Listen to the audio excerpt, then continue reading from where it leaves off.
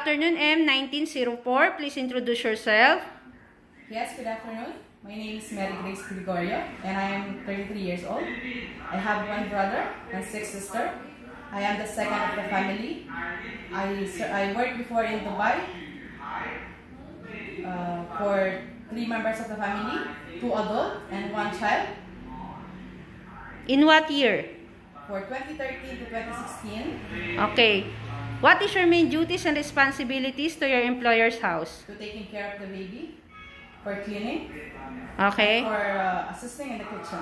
Okay. What will you do if the baby is crying? First, I have to check if the baby is hungry or need to change the diaper. Are you willing to accept the holiday set by your employer and willing to work on Sunday?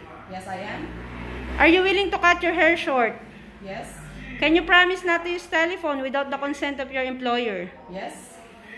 Are you prepared to eat the food that your employer provides? Yes. What is your message to your future employer?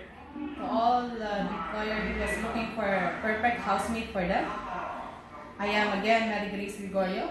Who you, uh, yani, who you are looking for the perfect housemate for you.